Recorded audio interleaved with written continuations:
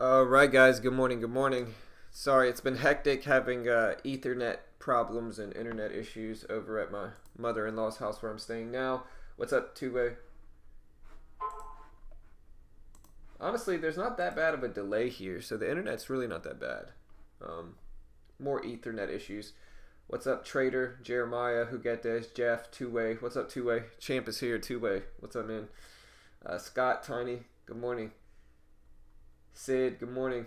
All right, so two way. We had U.S. stock futures were pointing to a higher Wall Street open following two days of losses for the Dow and S&P 500.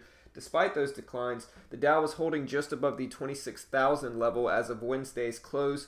The June gains from the Dow and S&P 500 after a terrible May remain the largest since January. Um, so yeah, so we've had some volatility for sure in the market lately. Um, we'll see what we get for it today. First one we can kind of pull up here to look at is, let's see, OPGN. I haven't really made a list today.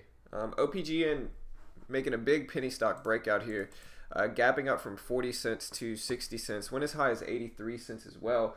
Uh, but for OPGN, they announced new data demonstrating clinical utility for antibiotic resistant urinary tract infection patient management and for rapid carbapenem resistant bacteria outbreak detection. Float of 16 million. So pretty small float, not ridiculously tiny or anything, but it's a penny stock going on some runs. Looks like a momentum move here, so we'll see what we get with that one. We also have AMTX, AMTX, which is uh, Aemetis India plant achieves record $4 million monthly domestic biodiesel revenue as shipments begin under OMC contract float of 14 million. So another small float here. Not that much volatility or movement with this one. I don't like it as much. We have a shipping stock, DryShips here, DRYS. And if you've been trading for a significant amount of time, you've probably heard of DRYS. I know this one went really parabolic about three years ago where it went up to a hundred and then dropped back down to like five or six dollars within two days. And so this is a previous parabolic mover for Dry's uh, DRYS. It's a shipping stock. And uh, yeah, so it's gapping up from 316 to 393. And the reason it is is because the shareholders SP2 holdings offer $4 per share for a merger, float of 16 million.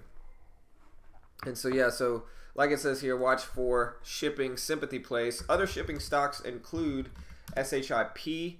What's the other one? Um, oh, I want to say it's LFIN, but I don't think it is. Maybe not. Um, what's some other shipping stocks? I know we have SHIP. I'm trying to think of these shipping movers here. Uh, I'm sure the chat will hit me up with some. So yeah, we could watch for maybe CODA former runner there as well. But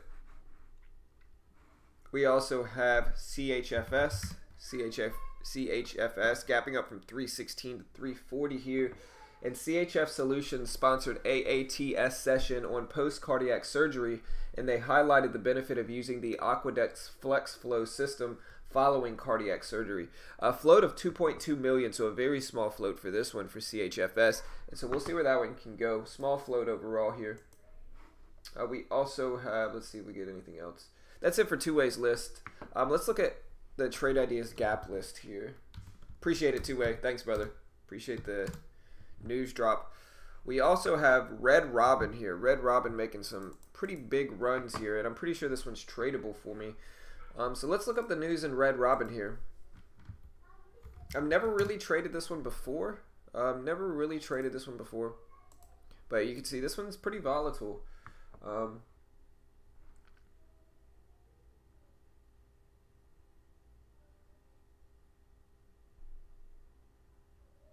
All right, so there was a Red Robin amended 13D filing from Vintage Capital that showed an 11.6% stake in the company. It also included a disclosure of a vintage letter to the company board suggesting the board should, quote, immediately commence a comprehensive review of strategic alternatives, is what that one says. Um, and so interesting here, that's making this one push up. They also have, uh, yeah, that letter demanding strategic alternatives. We got a few people talking about hyping this thing up, so we'll see what we get with Red Robin as well. Yeah, Red Robin has some good burgers, man. There's, there's they have some fire burgers for sure. Uh, we also have RH, RH here, which is Restoration Hardware, gapping up some, a little bit bigger cap of a stock here.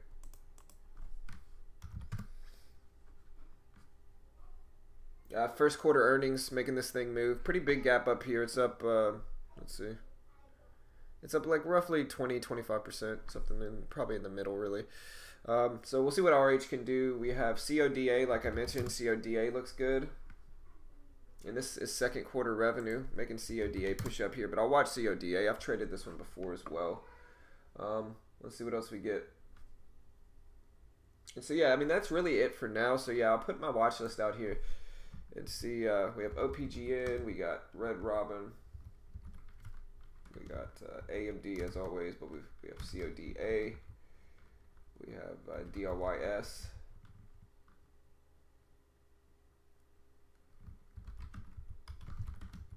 Get a few cannabis plays in there like I always do. That's my list for today.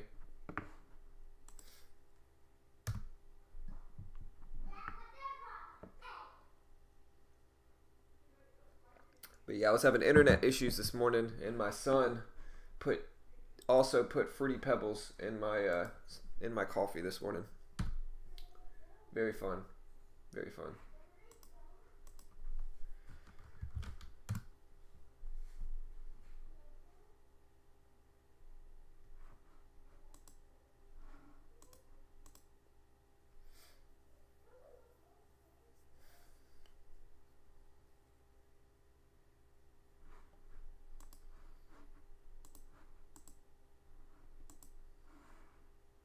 Yeah, man, it was it was interesting for sure. All right, so we got. I mean, we have some other options. We got like CRC here, gapping up some WLL, gapping up some. We got SQ. We got Roku, ROKU, cannabis plays like CGC, Cron have been pretty decent for me. Uh, oh, TOPS is what y'all are naming. Uh, yeah, TOPS. Appreciate it, Tiny. I knew there was another one. I knew there was another one that was pretty famous. Tops.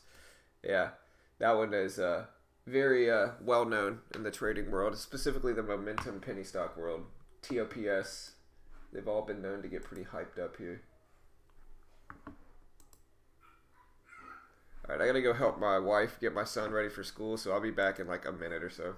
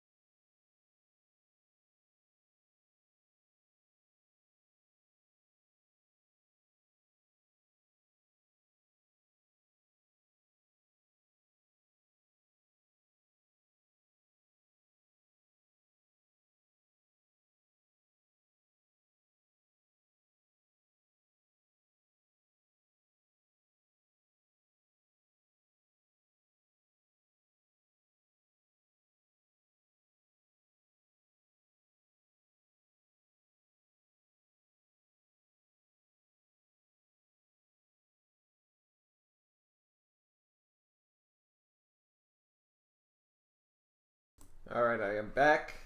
I am back. Let's see what we got here.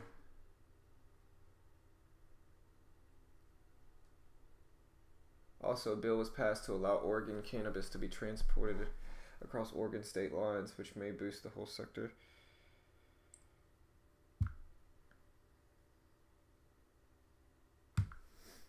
Interesting. All right. So yeah, sorry guys, I got started a little bit late today. Um, having internet issues over here. All right, guys. uh, yeah. So Red Robin, which is RRGB Thigh Slapper, is uh. They they found out a firm had a decent, a well known firm had a decent stake. I think it was like eleven or twelve percent stake in Red Robin. A very well known investor or firm had a had a decent sized stake in Red Robin. That's what they found out, and so then they also found a letter of some sort that is hyping up Red Robin as well. So that's kind of the news for that one.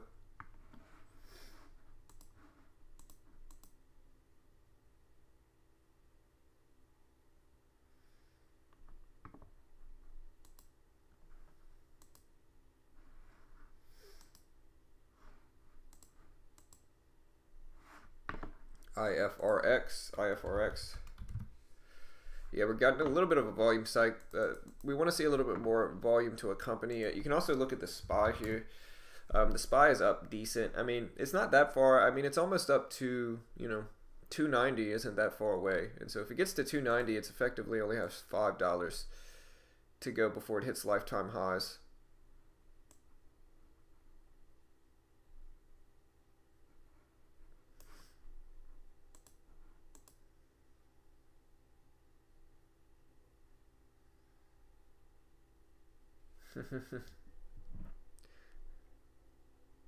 Tony says it's weird to be up this early. You must not have kids. Kids, uh. At this point with my kids, it's like no matter what, even if it's even if I don't have to wake up early, like my wife will give me a lot of times one day to sleep in, and even on my day to sleep in, I'm up at like eight o'clock in the morning. Can't do anything about it now.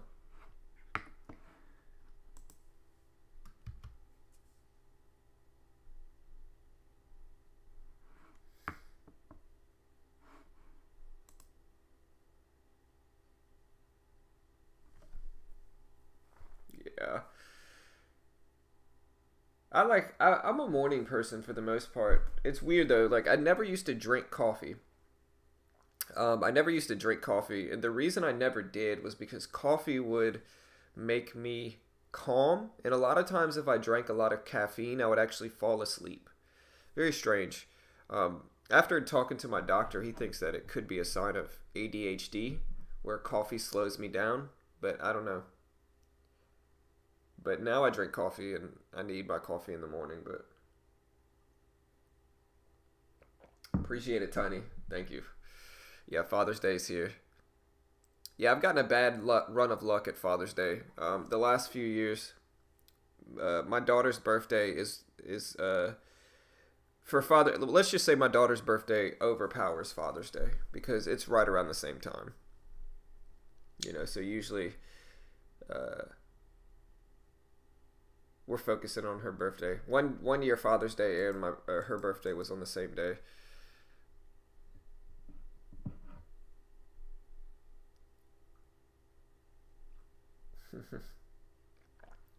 yeah, it's funny. They gave me a test to see if I had ADHD at the doctor, and um, it was a trick test. So they give you this. They give you this uh, questionnaire and you're supposed to answer it as accurately as possible. But the real test is to see whether you write your name at the top. That's the real test, which I very uh, obviously failed. I heard. Really, though,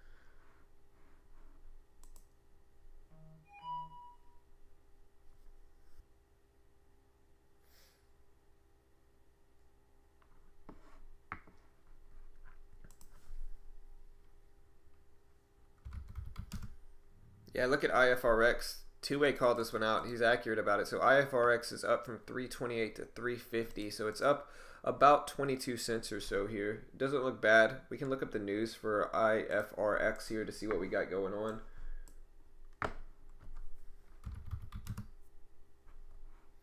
All right, so it sounds like this was positive clinical trial data. Um, So INFX treated their first patient in the phase 2A clinical trial with a lead candidate IFX1 and Pyoderma. I'm not even going to attempt to pronounce that. What's up, Mitch? Yeah, let's get Mitch in here.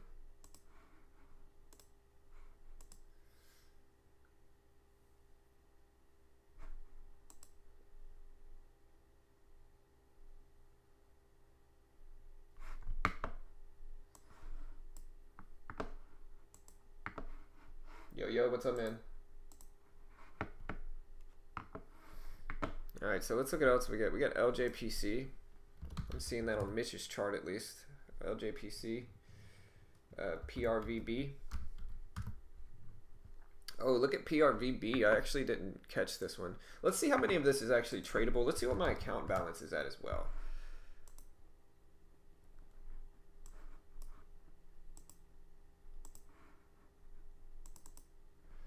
See what my account balance is at. Check that out. All right, so I broke $200 in profits. Nice.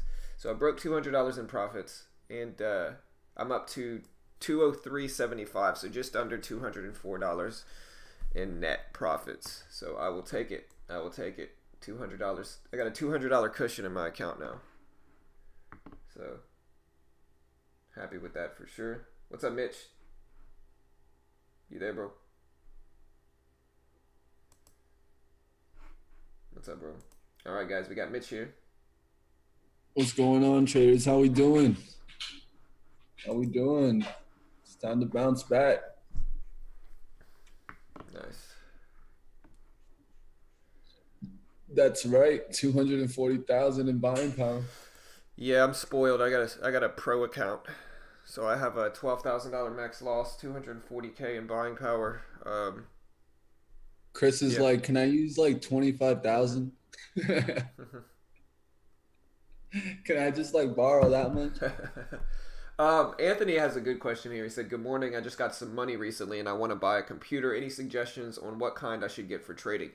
I'm actually right. I'm currently in the market for a laptop, but I have a really nice desktop that was like less than nine hundred dollars um, for everything, and so Looks like I got to work on that video.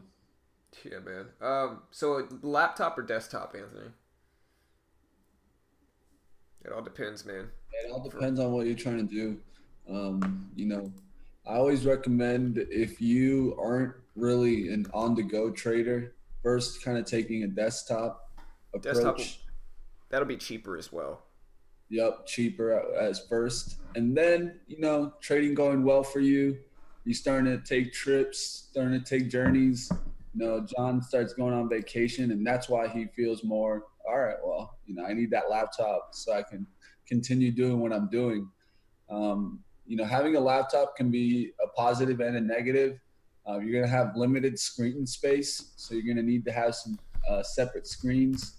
Yep. But and that's what I'm gonna some do. people though. like some people like continuing to use the laptop and then just have multiple screens with their laptop right. um, you can go for a, a really good laptop and it can do what you need but um, it's always going to be a little bit more expensive than Yep. let's say uh, buying a desktop or even building one um, Right. you know I, I built my computer and I- I think I definitely made the right decision um, I don't think a laptop would have been this fast for now three or four years, um, and uh, you know, I still I still have a laptop. I use it when I'm on the go, um, but I, I definitely would prefer my home base desktop over Me too. my laptop. Hundred percent. And here, the the thing about it is that you can buy like this is the laptop I'm getting. Um, I've I've decided on this laptop. Pretty safe decision on this laptop. Um, it's a Lenovo Legion Y530, and uh, super dope laptop. It's a gaming laptop, but it's it doesn't look super gamerish.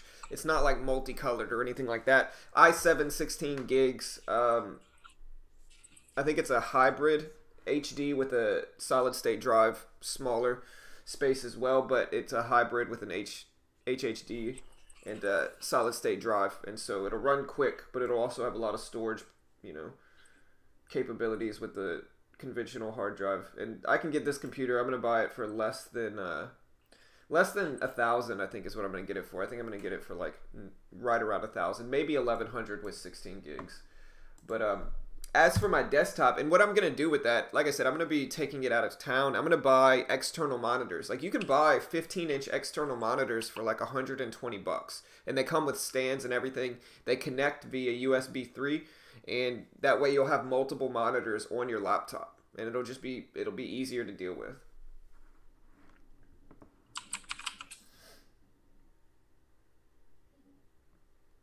But yeah, if you're getting a desktop, I think I have an Inspiron 3670, uh, i7, 16 gig. Um, it, and it works great. I mean, I never really have any problems with this PC. It can hold three huge monitors. It's got a good graphics card.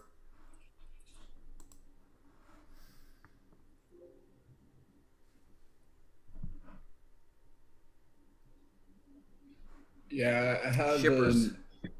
I have an SSD card and a kind of slow uh, hard drive, a one terabyte drive. So yeah. I gotta, you know, I think it's what you kind of need. Um, you know, SSD cards are really expensive. You don't need the craziest SSD. You just need something that's going to hold your programs right. and your operating system. And then you can put, you know, like photos, videos, stuff like that on a kind of slower drive. Right. I mean, you know, hard drives, they're beneficial. They can hold more space for cheaper, for much, much cheaper, like a conventional hard drive. But it's going to make it, it's going to be a little bit slower, you know, because they have the mechanics of a conventional hard drive. And they're, they're also going to wear out easier, in which a solid state drive isn't going to, it's going to be much more expensive per space, but it's gonna it's not gonna wear out as easy and it's gonna make your computer run much faster as well and so that's why i want to you know i could get a regular i don't mind like it depends like i might get an 8 gig laptop and then upgrade in the future if i feel like i need it but hard drive is a little bit harder to upgrade and to change out in a laptop as opposed to a ram stick where you can just swap those out easily I completely agree with that um, when it comes to laptop, I feel like you have to make the decision on the memory side from the beginning. Not many laptops give you the ability to add memory. Um, For sure. A lot of them are going to have that ability blocked off. That's why I'm getting the Lenovo though, is because if I even if I want to get up to like 64 RAM, yeah, uh, I can't. They give you give you the ability. Right, for sure. My friend trades. My friend trades with a Lenovo. Yeah, I just like the way they look, man. Like I said, this is the one I'm getting. I think it it's pretty cool. Hey, there's quality. yeah, there's a bunch of different legions. Um, honestly, though, like the new, like I'm probably just gonna get the base model one, which is the 530. The 540 is coming out as well, but um, I, I need the laptop before then, and I don't like. I here's the thing: I don't really game on laptops. Like I'm not gonna actually game on this laptop, and so I don't need the super newest specs with regard to gaming because I'm not going to game. I just need a decent enough uh, chip that can run platforms, decent enough RAM, and decent enough processor. Like that's all I need. And if it has that, then it'll get the job done for trading. For sure. Hundred percent AZ. Yeah, I mean, if you think about it, like a hard drive has to, it has to do the entire movement of a hard drive. SSD doesn't, and so hard drives are, are you know, they're gonna wear out. You know, they're gonna wear out eventually which you know if you have something like i have google drive backing up all my important programs but if not you know you're kind of risking it but again i mean my computer right now it has a conventional i think it's one terabyte as well. Um, it doesn't have ssd it's just a conventional drive so and it works fine but. Yeah i like the combo. The combo is not bad. You can get a one terabyte drive for 50 bucks. And then spend your money on the SSD card, and those are going to run you around uh, close to 150, 180. Right. Which is fine, you know. I, I would rather it just honestly for boot up speed alone is yeah that's why know. i love it I, I my computer could literally crash the whole thing i could turn it on and turn it back on get my trading programs up in less than two minutes time yeah man that's what I'm saying. Like that's I don't get that with my computer. my computer's the old man booting up, you know. Yep. So that, that's why I don't worry about programs too much crashing on me. I remember when I first started trading, I traded with an i3 and I used to trade DOS and I had trade ideas running, two screens, and boy, was it a, a reality wake up when I uh, lost like $300 because my computer froze up. Yeah. Just kind of realized, hey, well, it's it's okay to trade on an i3 computer, but you can't be trying to go to that other level where you have multiple screens Yeah. and a lot of programs running because you're just going to overwork your computer and it's not going to give you the performance that you need. Yeah, So man. that's why I went and I went with an i7 after that. And from there on, you, you shouldn't have to worry. Yeah. I could have a thousand think an tabs i5, open. i5 can even work for you. Oh yeah, no, i5. Honestly, think about it like this, right? My first trading computer that I had multiple monitors on, I had two huge 27-inch monitors, was an i3 8 gig desktop. You know, and it worked. You know, that i3 8 gig desktop, it worked, man. It worked. I could stream on it. I would stream on it sometimes. I would. Uh, I had two huge monitors, and I would have multiple different programs up, and it would work. Eventually, it would crash though, like every now and then. But it, for the most part, you know, my streaming would hold up, and you could look at my really old streams. Um, eventually, I upgraded to an XPS, and then I ended up giving the XPS to my mom, and I bought this one. But uh, yeah, I mean, it'll you could i five will definitely work, especially if you have like eight or sixteen gigs. You know, i five will definitely work.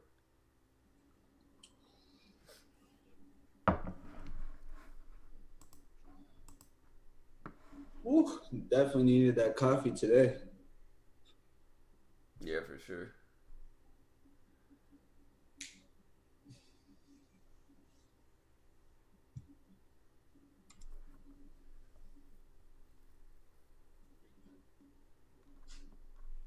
CRWD. Yeah, man, we got the shipping stocks moving today. We got DRYS, man. DRYS up, tops, TOPS. We got uh, CRWD looking good. OPGN in the penny stock world looking good. We got RH, Restoration Hardware, CODA gapping up some as well. Honestly, I will say this: I'm disappointed. I can't trade Red Robin today. It's not tradable. it's not tradable, man. Look at Red Robin. It looks good, man. It looks good. Red Bob. Yeah, man. But it's not tradable. Unfortunate. Hey, that's how it goes, man. We'll, there's plenty others. yeah, for sure.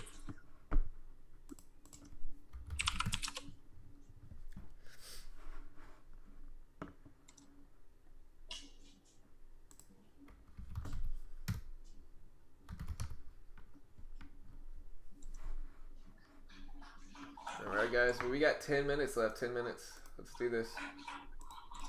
Like I said, 14 day green streak. 14 day green streak. We'll see if we can keep it going. Um, any advice on trading futures? I've heard a lot of good things about it. I understand the basics of it, but don't follow too many future traders. Any advice? I'm the wrong person to give you advice on futures trading. I just don't know enough about it. I'm almost solely stocks. Um, I do trade some options. Um, I trade a little bit of options, but mostly just stick to stocks. I, I, I put it this way: I just stick to what works for me, at least. I'm not saying futures won't work for you, but for me, I've never tried them, and, and I'm just sticking to what I what I know works for me. Um, and so, futures. I've heard I've heard a lot of people trying to get me to trade FX and futures, but never taken the leap, just because it's just it's a completely new genre of trading, and I don't know if I feel like investing that much time in it when this is working for me. I, I guess I don't want to focus on other stuff and then lose any edge I have in trading while I do have an edge. So I just stick to what works and try to kind of ignore Yeah. everything else. I've been doing a little more research, and from my research, um, the more and more we go into different asset class other than stocks, the more you're going to run into algorithmic traders. Um, about 80% of forex and that kind of trading um, is done by algorithmic traders. It's actually only done by three major firms about 80% of the trades. So you're only talking about 20% that's going to be retail. And you're going to be trying to battle investors that have a lot more money than you and have advantages of resources to information that we just don't have. Um, so that's why I don't trade Forex. Um, and I, I, know how hard it is to trade when you don't have all the information. Um, so that's why I tend to lean more to day trading, where I can have uh, spurts of momentum, where really it doesn't really matter what the big investors are really thinking of this because it's spurts of momentum, it's quick ins, quick outs, and that's how we're able to capture our money and not worry about those big investors changing the price for us. Yeah, 100%. All right, guys, so we're about to get ready. Um, if you want to join our public Discord channel, I'll post this link here as well. Like I said, Mitch and I, we just try to give everybody everything for free. You know, that's what we do. We just try to give everybody everything for free, uh, not charging anybody for anything. And so, one of the subsets of that is our free trading chat on Discord. And so if you want to be a part of our day trading chat room for free, um, just join us. We have over 400 members at this point. I think we have almost 450.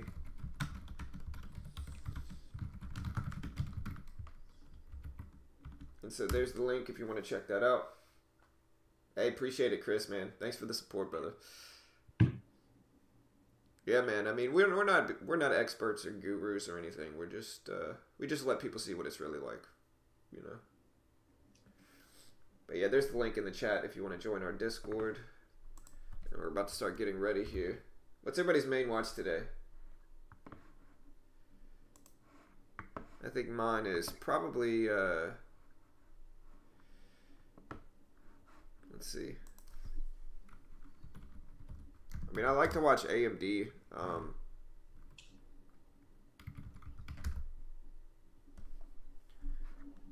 Wait a minute.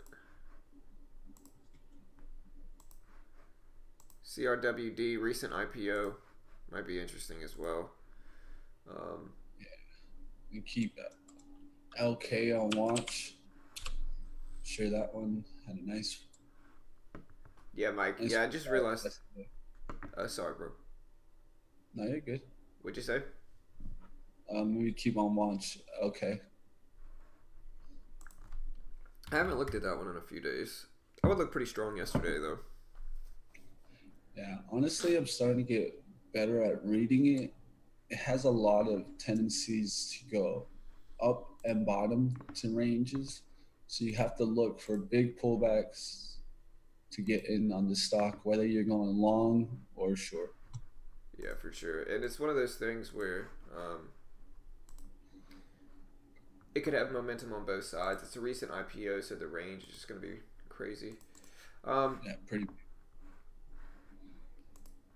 One of the reasons I think I've been doing much better is because I've been also taking VWAP bounces. That's one of the reasons I am happy with the challenge, is because it allowed me to, or the, the competition is because it kind of allowed me to trade with, uh, you know, without fear of learning. And so I kind of was able to transition into trading VWAP bounces as well. Um, I don't have I don't trade them with as much conviction as I do VWAP fades. Basically, I don't use the big enough sizing with the VWAP bounces, but I have been trading them more and getting into those more, and they've been working pretty well. Um, and so we'll see what we get today.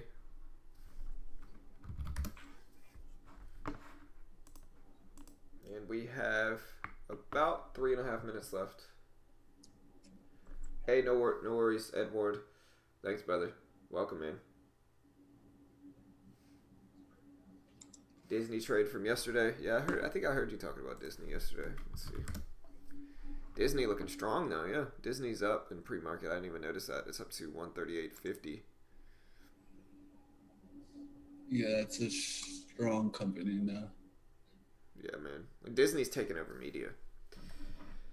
Well, one of the biggest thing is that Disney decided uh, about two or three years ago that they were going to make their move into streaming and media.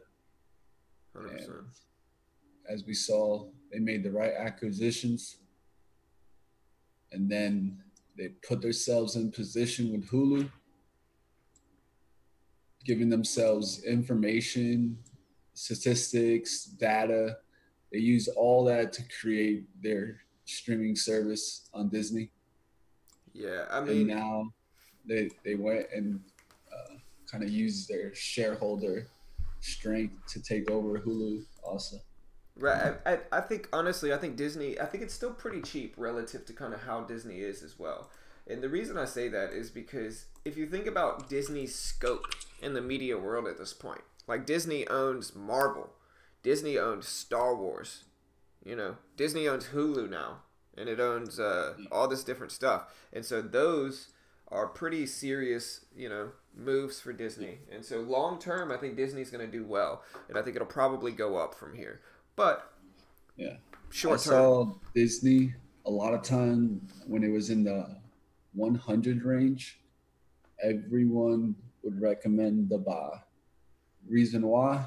They were looking two or three years down the line, knowing that Disney was heading towards the stream service because Disney's a, a great profitable company. They just need kind of that reinvention, uh, innovation, and that's what they got here. They moved themselves in the right sector, giving themselves some strength and invested. Uh, it depends. It, it depends on the setup. And when you think about it overall, you know, from 100 to 140, it's a big move. Yeah, man. Strong move, too. Especially I mean, when you're valued at, at that rate. Yeah. I mean, it's roughly what, like 30%? Like Disney's value, but I'm, sh- I'm sure it's in the 100 billions. Here, let's look. I'm sure it's something ridiculous like that.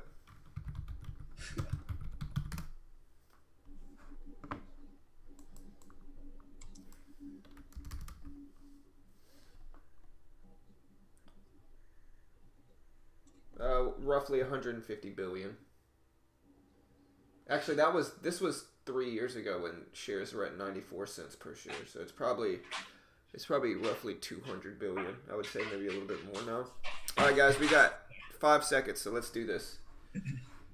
Let's do this, guys. Let's have some fun. Stick to your system. Take the trades. All right.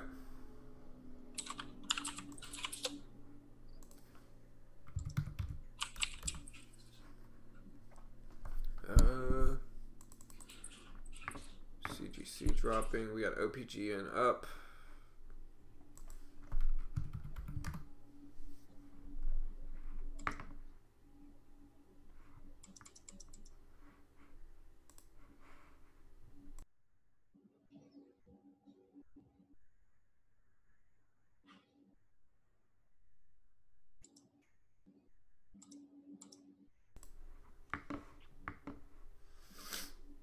We'll see if we can get a little bit more profit in my account today. Like I said, I'm up effect. I'm officially up over two hundred dollars in net profit in this account. Goal is to get to about a thousand dollars, so I can do that withdrawal. That'll be a fun video.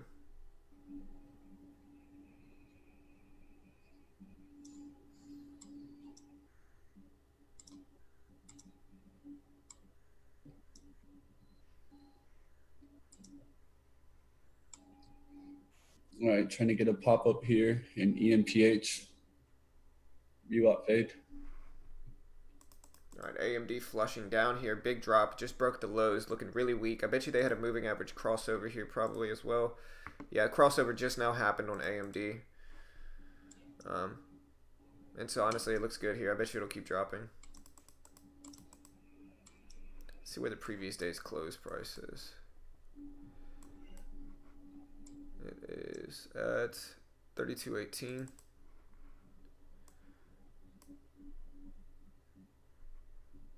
Alright, so yeah, I mean, look at that previous day's close. That's the level to watch.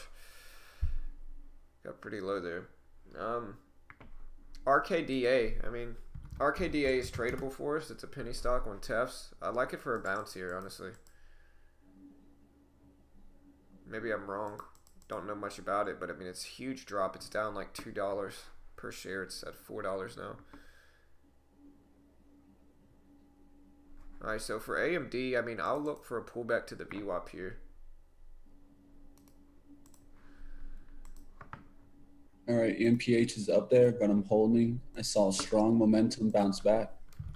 40,000 shares bought up at 1742. All right, we might have some VWAP bounces on the cannabis plays like Cron and CGC. All right, so AMD looking weak here. It's right around the previous day's close. If it can get up to 33, I'll consider risking um, around 40 cents as my risk.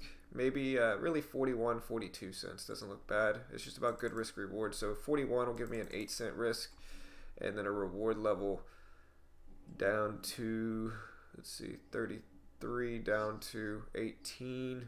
Yeah, it's just about 2 to 1. Just about. Um,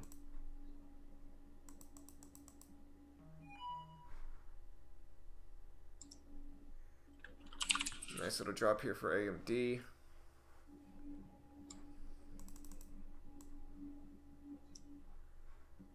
Yeah, so AMD is looking pretty weak here. I'm waiting for a pullback to the VWAP. If we can get one, I'll, I'll definitely take it for AMD.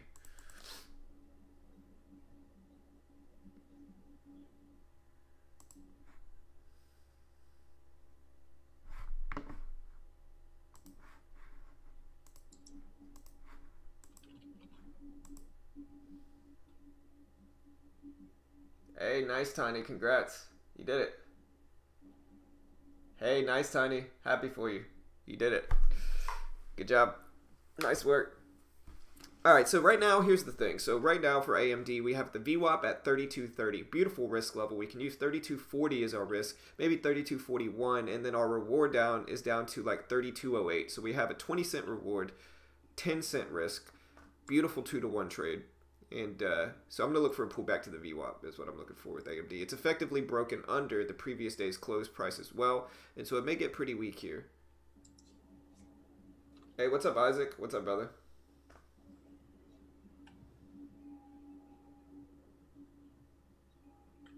All right, we also have CGC pulling back to the VWAP, which could be a VWAP bounce here. We got CGC pulling back, and this could very likely be a VWAP bounce with the risk of probably 86 or so. Maybe 90. Probably be decent.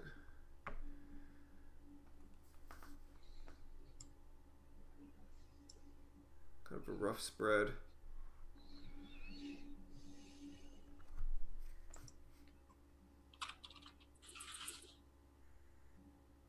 Wow, looks like CGC would have failed. Yeah, look at that crack.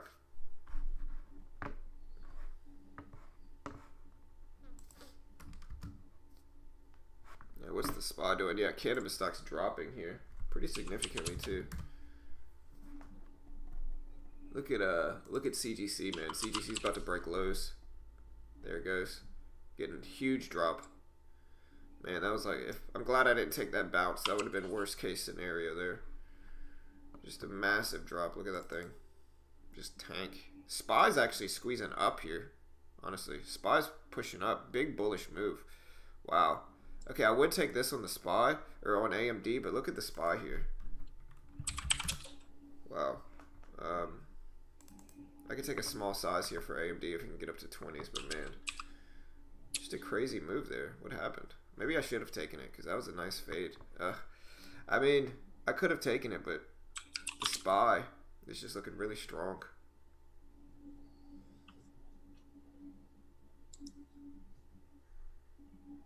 Nice wheelhouse. Congrats, man. Nice job. Look, yeah, look at AMD with this fade, man. Ugh, that one's gonna hurt. That one's gonna hurt.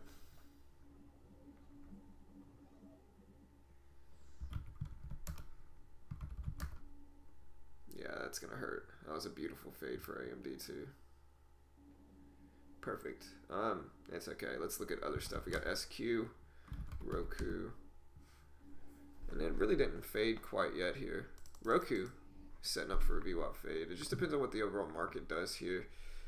And so if uh, if we can get up to 21, I'll, I'll slowly start adding to AMD and look to jump in, but it may be a little bit too late here. That fade was probably the one.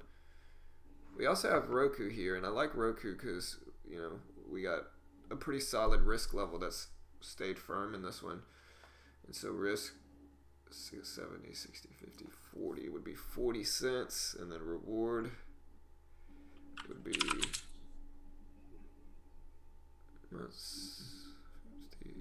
about 83 cents. So not bad. Risk reward there.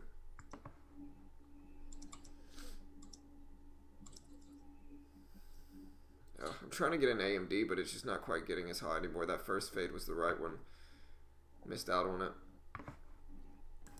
Now we could also look at Roku. I think AMD's done with the fade. It's already followed through. Uh, let's see. If I do get in Roku though, I need a small share size here.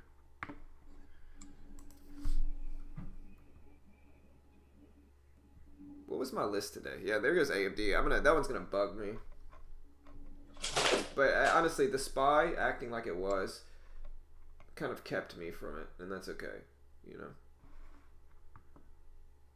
But there goes the fade. And so the bullish, this is one of those days where you just don't know if AMD is going to follow the SPY or not. And when the SPY was breaking highs, AMD was pushing up. And there goes Roku.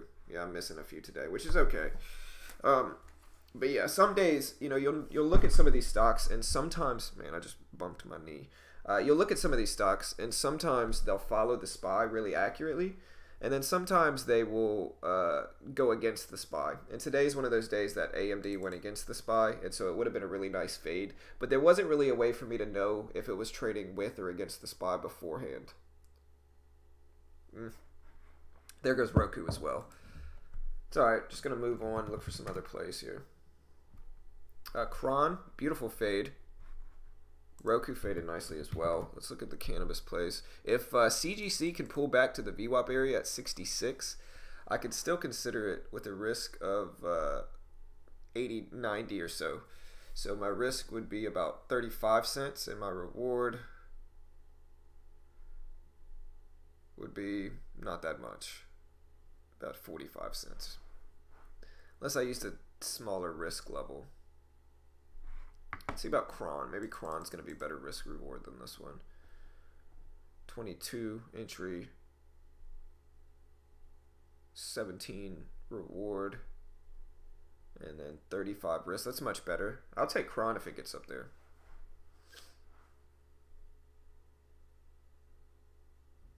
Yeah, 45.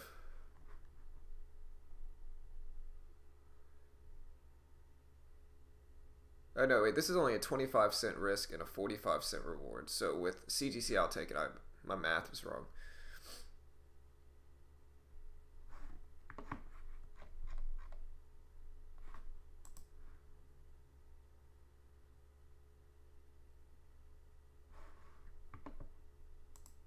I mean, with AMD, if it gets back up there, I could still use, you know, 27, 30 as my risk.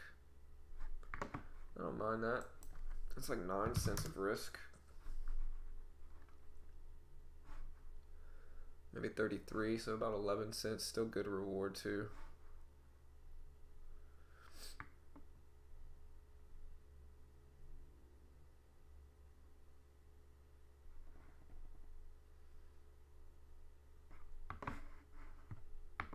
What's everybody else watching? I missed a few this morning, but that's okay. Uh, DRYS. Yeah, DRYS starting to possibly pull a red to green move here. DRYS, look for this possible red to green move. I can't trade it, but you guys might be able to. So it's starting to push over, break these highs. The highs are really at 93 and it's at 95 now. The big level here is the whole dollar though at 4. And so I think it's got to break that. But look for volume to come in and look for this thing to start squeezing up for DRYS. Here's some volume. 96, 97. Again, like I said, the $4 whole dollar break is going to be the big key level there. But yeah, shout out to Scott because I would have missed that move too.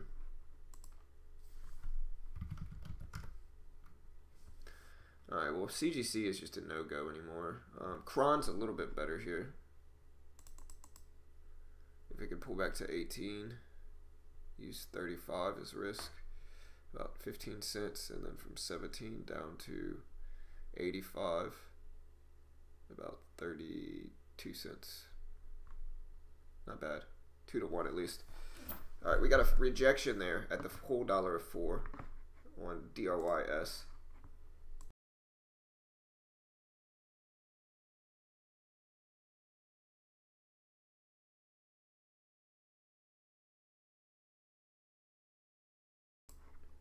All right, so we're getting some squeeze ups here. Uh, let's see.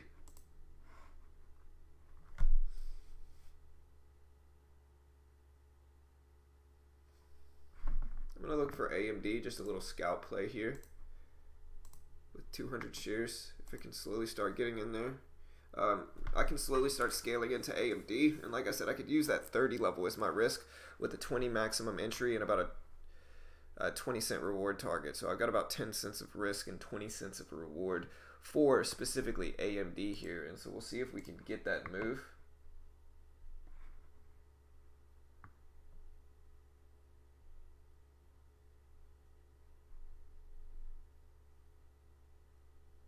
We also have CRON here. Watching HTZ here.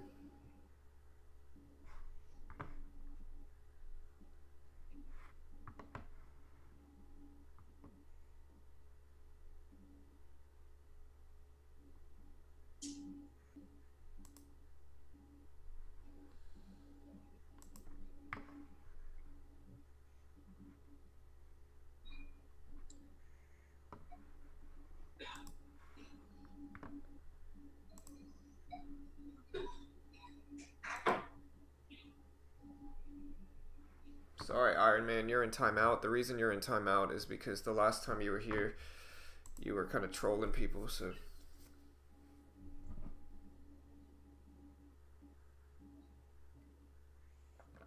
All right. Holding off on HTZ for right now.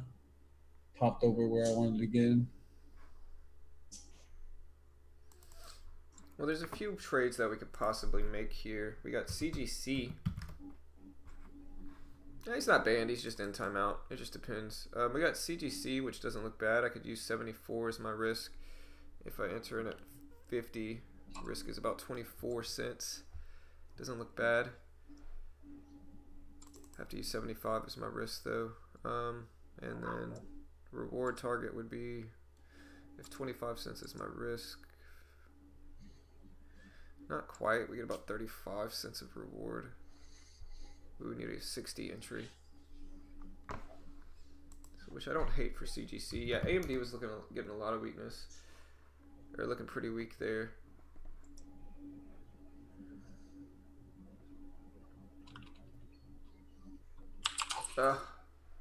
Every time I'm about to short one of these moves, I hesitated with this one, and there it goes. I was just about to jump in with 100 shares, though, but I'll look for CRON instead. I like CRON because it's right around that previous closing price.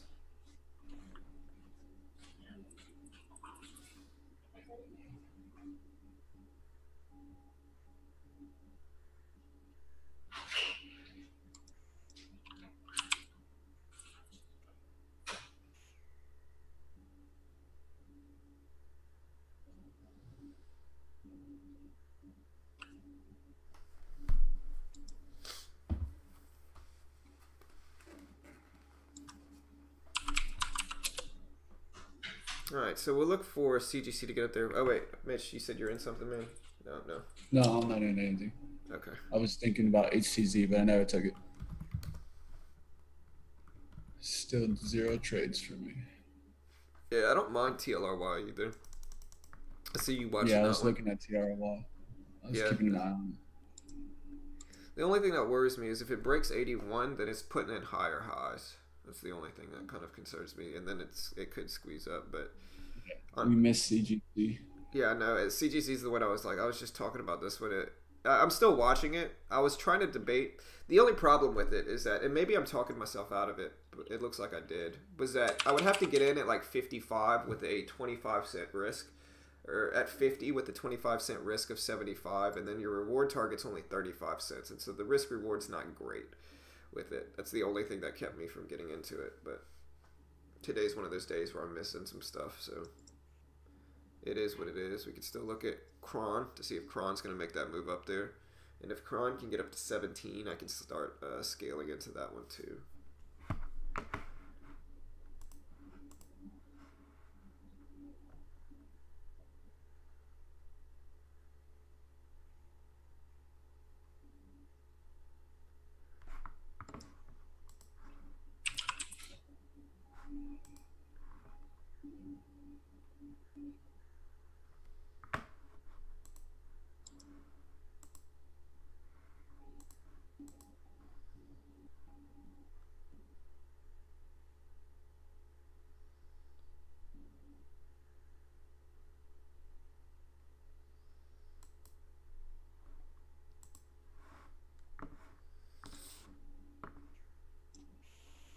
Looks like CGC really followed through there. Unfortunate. I was also looking at Roku and SQ too, so I've missed a bunch today, man.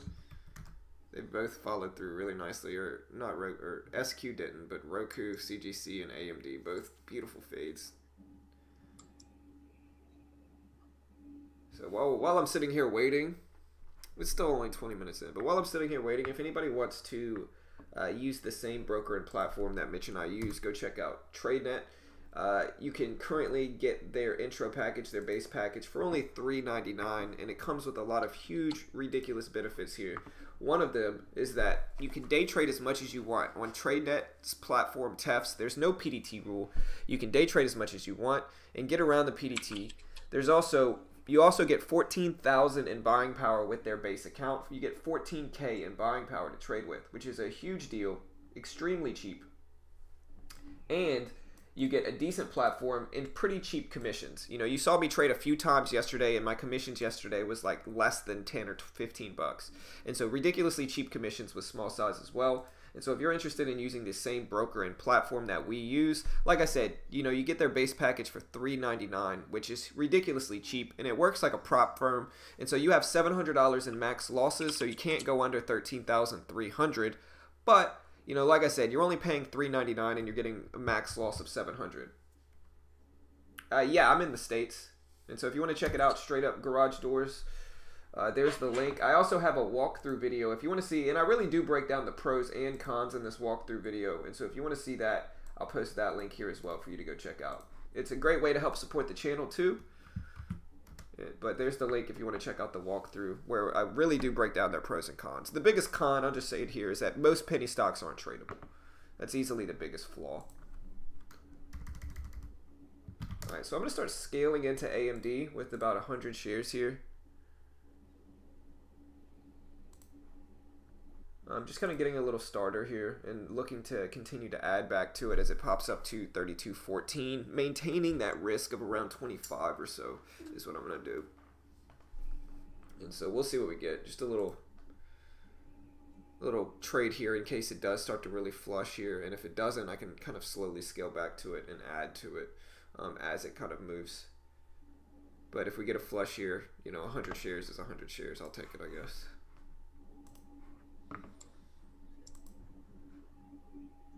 And if it can bounce back, I can add back to it. That's kind of the goal here.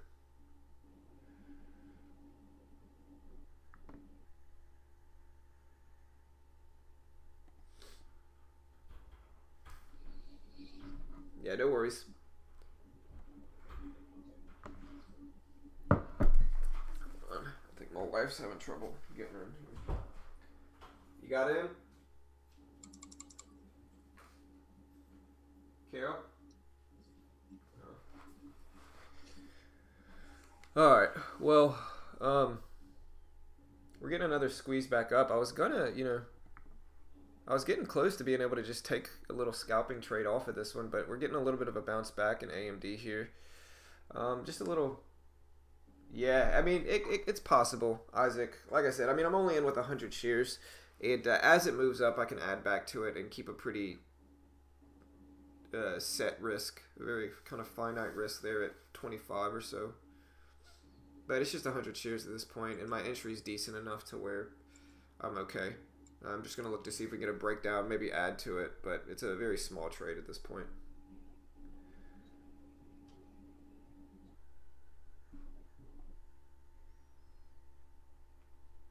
All right, there's the bounce. Like I said, I could add back to it. Looking to add on it, and bounces back to the $15 level. All right. Starter put on here for HTZ. Risk right now is 66.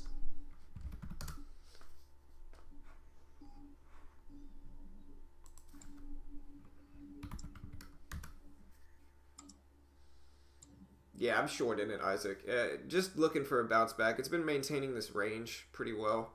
Um, and so looking to just scale into it up to the VWAP. But like I said, it's a very small size to begin with. And so it's just a little feeler trade in this one.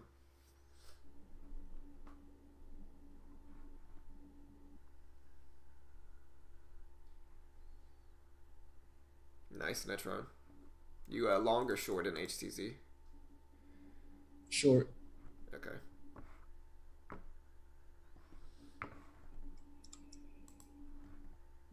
All right. Just got squeezed out there.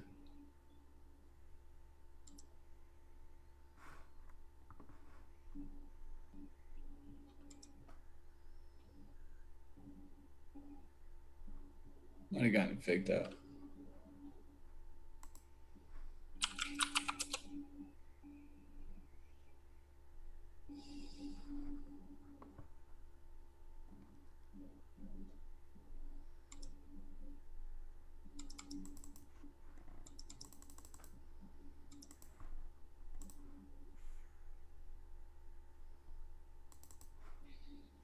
Watching TLRY here.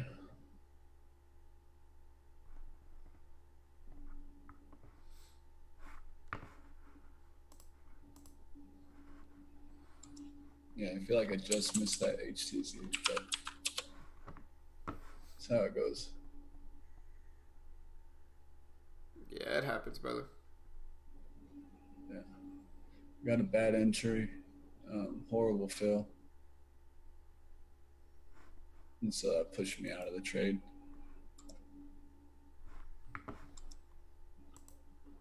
So we're getting a little bit of a pop up here. Like I said, if it can get up to 11 or 12s, I'll add another 100 shares. Just to get, This is just going to be a little uh, base hit trade. I'm not trying to go crazy with this one because I don't have as much conviction in this one, to be honest. And so we'll see what we get. But regardless, it's just going to be a small ball trade. Yeah.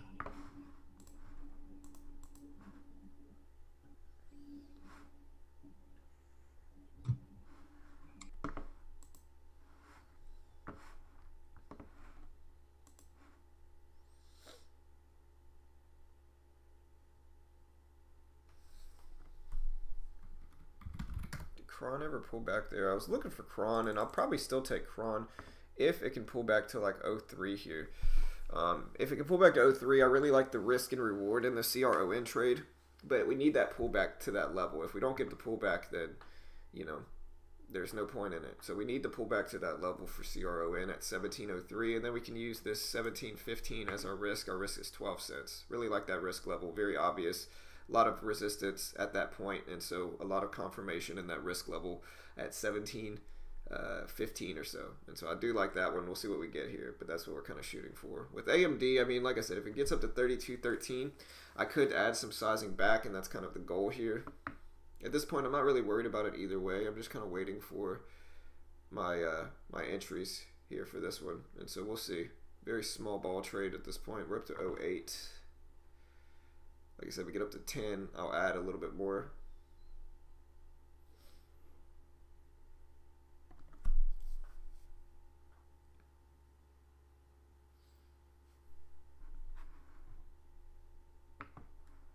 Here's 08s, 10s, 11s. All right, so I'm going to add another 200 to this one. And so now we got 200, and I'll add another 100 as well. Um, if we can get that hold there up to 32.12, 32.13. So that's what I'm in with now. Very small position.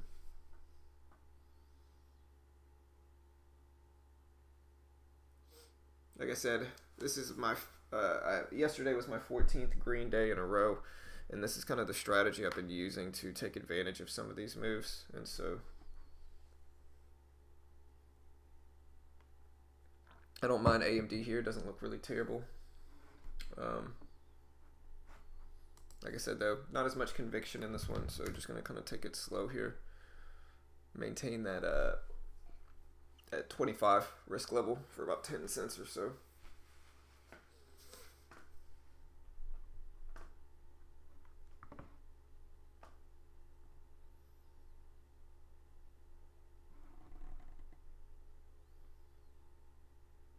There's 12s. What's my entry here? My to be nine. Mm, could be better, could be worse. This is my entry right here. So not terrible. We'll see. I can add another 100 if it gets up there.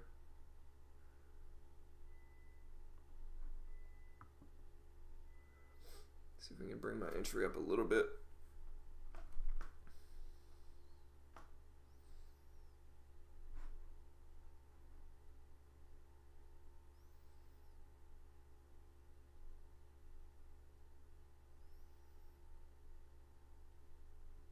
There's 14s, 15s, 16s. I'm gonna add one more 100 share lot with 300 shares and then see if we can get this drop.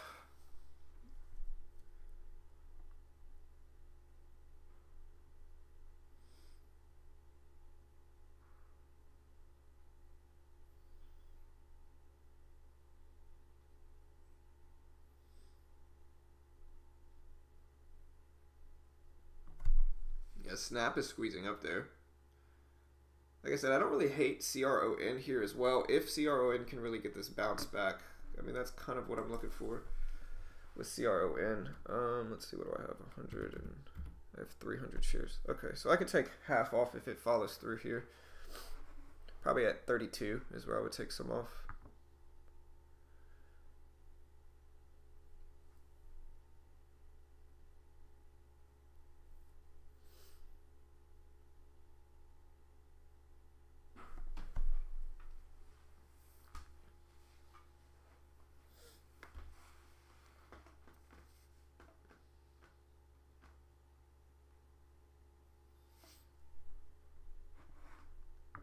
All right, there's 09s, 08s, 07s, 06. Like I said, if we can get that drop down to 32 is really what I'm looking for. I just like it, lots of resistance above it. Yeah, I mean, I don't really use the MACD. I mean, I know the, the crossover works. I've traded it a bunch, but I mean, it's just the way I trade it, and uh, you know, we could all disagree. Uh, it, you know, it may very well squeeze up. I'm not 100% sure. But I just like the resistance above it now, and it's a very small trade, regardless of what happens. So you might be right, uh, Isaac. I just like the resistance that it has above it now. Should be decent. HTZ squeezing up there.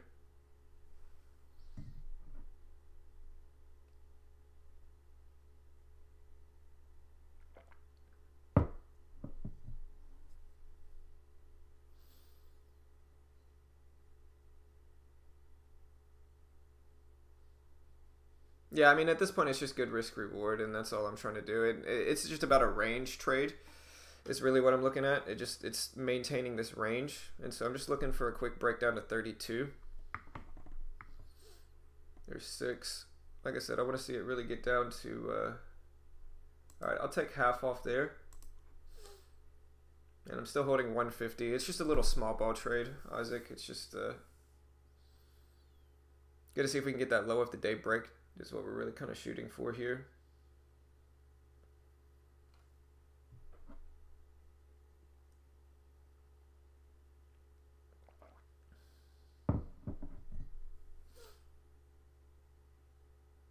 And so, I mean, even this breakdown was good enough to, uh, there we go. I'm to take another 50 off here. Now I just got that 100 left. I've banked enough to where I'm not super worried about this one anymore. And this is the range. You know, when I say a range bound trade, Isaac, this is this is kind of the range I'm attacking here. Um, I'm just attacking this range, and I can draw out the range that I mean here. Um, you have this big support level right here. And so this is really the range I'm attacking right here. And that's why I, that's why I remember saying like I'll, I'll slowly scale into it. I don't mind scaling into it up until that level. And so I'm just attacking that range because a lot of times, even if it doesn't end up breaking down here, it's at least going to kind of pivot back to this level. And so when it pivots back to that level, I can take profits and protect myself. And so that's all I'm looking for is for it to bounce up and then come back down like it did. Um, now I've, I only have 100 shares left at this point, and so I can either, uh, yeah, mostly a scalping method. It's just a range bound scalping method for sure. And it, like I said, this is like my 14th. If, if I end today green, it's my 15th green day in a row. And so it's very accurate. Um, and uh, I just try to set myself up with good risk reward, and I'll give it that chance to break under these lows here. Like I'll give it the chance, but it's unlikely, and it's probably just going to bounce back and squeeze up here as well. But I'll give it the chance, and I've scaled out of it enough to where even if it goes against me here, I can very comfortably just exit the trade. But if it's going to bounce, this is the most likely level that it's going to bounce. And at the very least, at least I build a little bit of a cushion up on the day.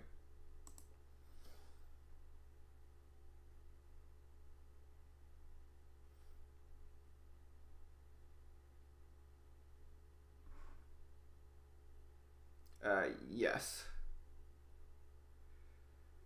Danny.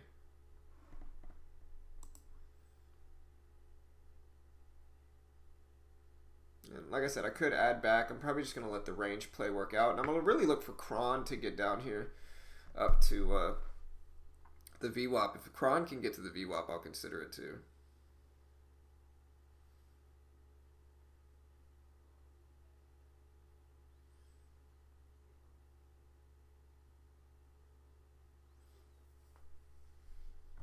So I've got 100 shares. We'll just look to see if uh, AMD can really break down here under the whole dollar is what we're shooting for. That whole dollar is going to act as some support. But uh, that's what we're kind of looking at here.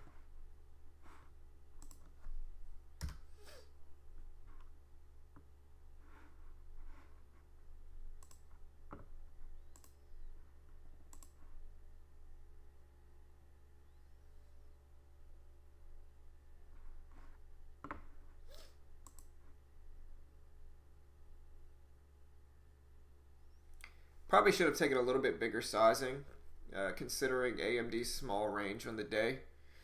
But uh, green is green. Probably should have taken a little bit bigger size though. I don't know if CRON's going to give me the entry. I was waiting for Kron to back to bounce back up here, and it just never did for that entry. Unfortunate, but is what it is. All right, so here's the whole the uh, whole dollar break under 32. And so we'll see if we get a flush down here. But if it's going to bounce again, this is the most likely level that it's going to bounce at. And so we'll give it a chance. But if it bounces, I can get out for a small gain. And even if it goes my way, it'll probably be a small win. But we'll give it the chance too.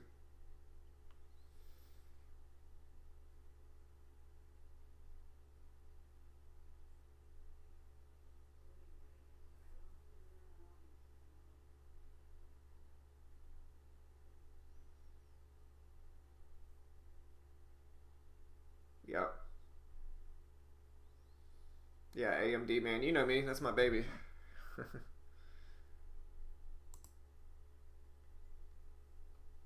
I got to get back up to bigger sizing, though. Ever since the competition, I've kind of scaled down. And I can add to it here, but I don't really like this squeeze. Yep, exactly, man. that range play, it works, man. And that's the biggest thing. Like, it works. Um, the range bound moves work you know.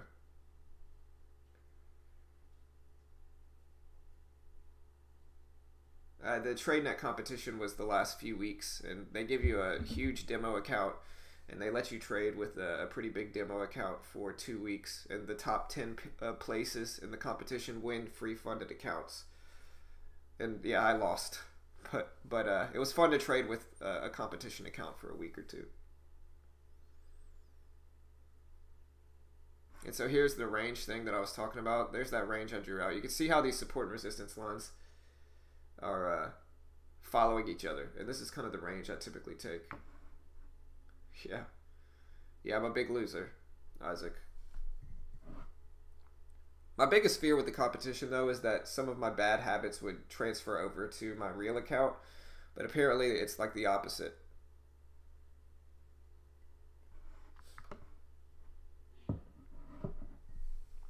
Hey, appreciate it, Isaac. Yeah, man, we're getting up there, brother.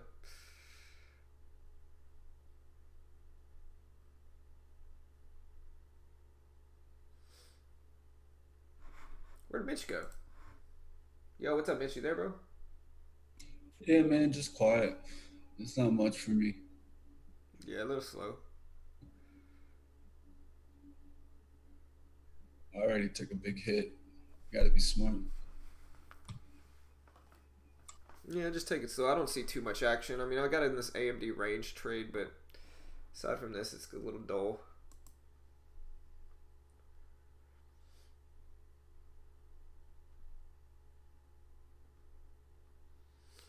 Alright, there's 32s. We'll see if we can get this breakdown. And see, the range is still following. Like, you can see, I drew this line a while back, and look how accurately it went right up to that level. I could have added to it there, but, yeah, it is what it is. Looking for a flush. I could take a little bit more off here.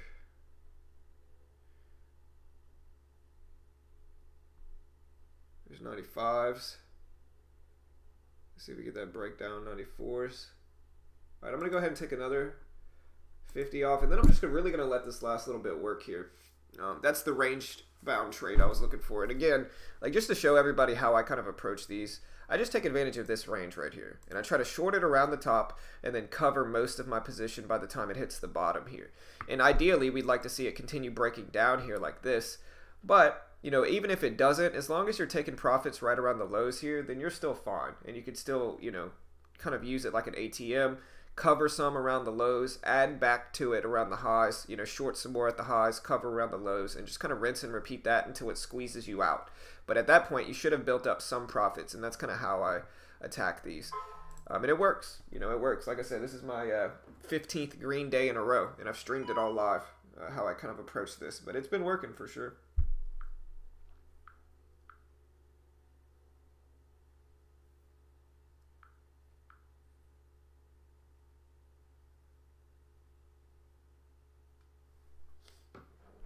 There's a nice breakdown to 85s here. We'll see if we can get 40 dollars in gains. But... down for you, man. You probably get it. Huh? SPY breaking down here. Yeah, there's the wash and the SPY. Yeah, it should be beneficial for AMD. This is what I'm holding.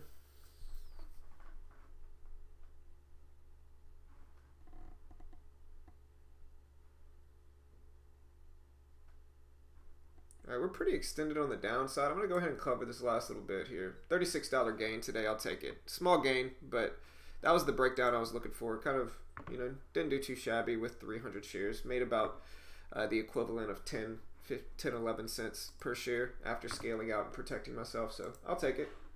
But yeah, that's the breakdown I was looking for.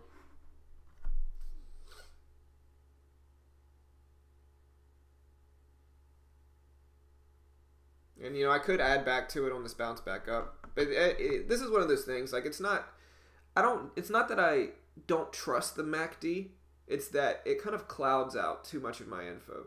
You know, like I can, I know certain stocks well enough to. Uh, I know I understand these certain stocks well enough to kind of attack that same range bound trade. And I'm not saying the MACD doesn't work. I'm just saying that, you know, when you trade a certain stock over and over again, you kind of learn how it moves to a certain extent. And uh, I know AMD is very rangy. It'll stay in that range, and it, will a lot of times that range will stay solid, and it'll give you pretty good risk reward. And so I just kind of attack that range consistently. Uh, another thing that we're actually getting here, though, which might be the reason the MACD, you know, was wrong, is because the SPY really flushed here, which is kind of unexpected. You know, you're not really going to expect the SPY to flush this much, and that definitely benefited me in this AMD trade. Um, the SPY got really weak, and so you know mid cap stock like AMD is going to get dragged down typically from it. And so there are a few different reasons, but um, I like these range bound plays, and they're short term. So regardless of what it does long term, most of the time I'm out by the time anything significant happens.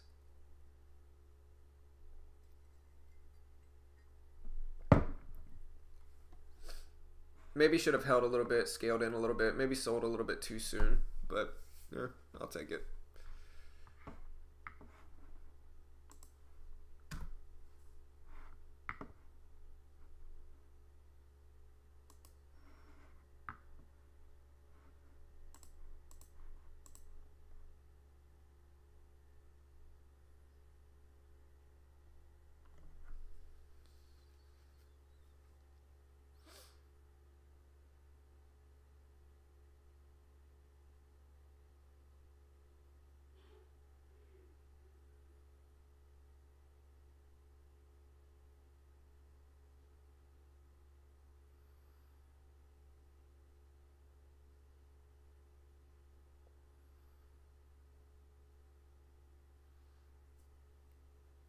All right, and like AMD could bounce back here, and we could get another fade. But yeah, it looks like that was the right move to get out of HTZ, Mitch. I think squeezed up big.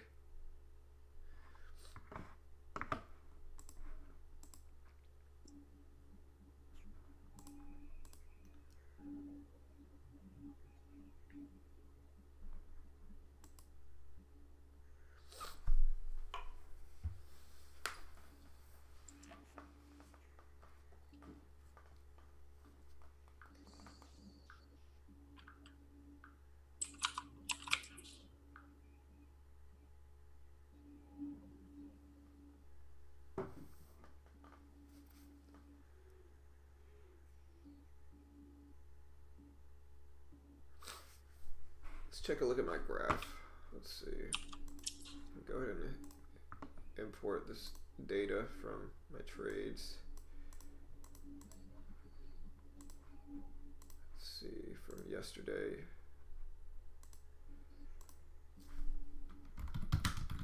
That. Let's import this to TraderVue.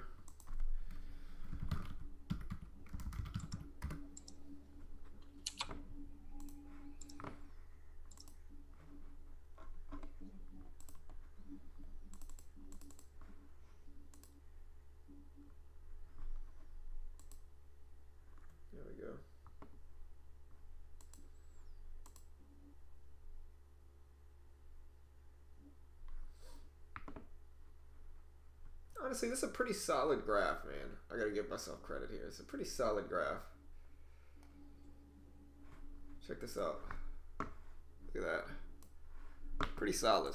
I'll, I'll take it. Look at that. Let's see, 1, 2, 3, 4, 5, 6, 7, 8, 9, 10, 11, 12, 13, 14. Yeah, after today, that's 15 green days in a row.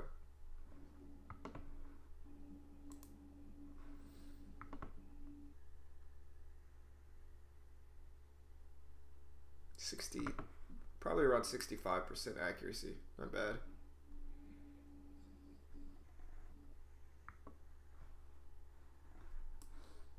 Made about a thousand dollars in gross profits in the last month. I'll take it.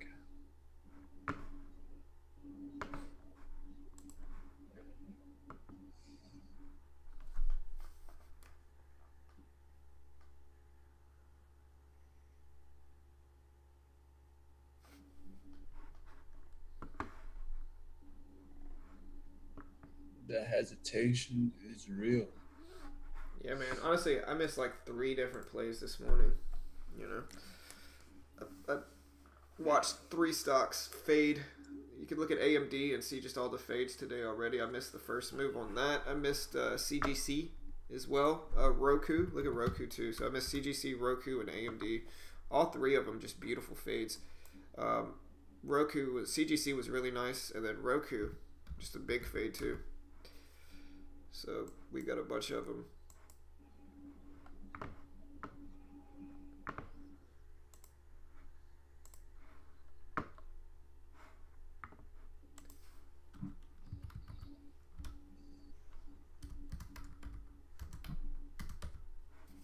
Yeah, CGC, I mean, if CGC can climb back to 42.27, looks pretty good.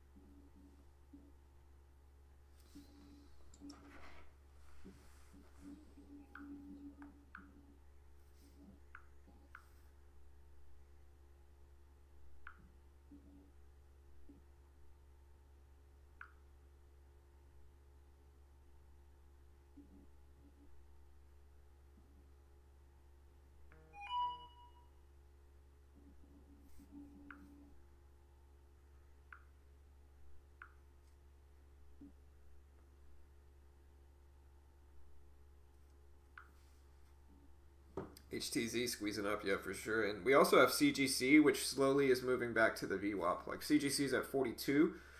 Um, 42.27 is right around where the VWAP is.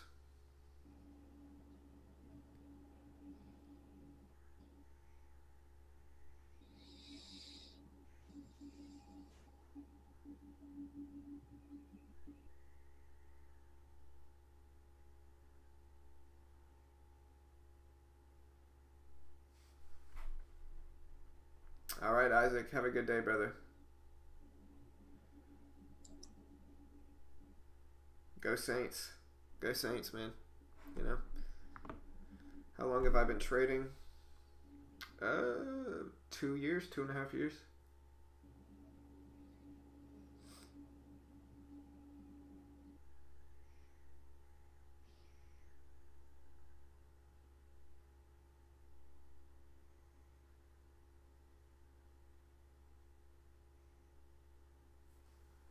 Big order coming in for AMD on the downside of $4,100 sell order with a $4,600 buy order as well, so that probably even out really.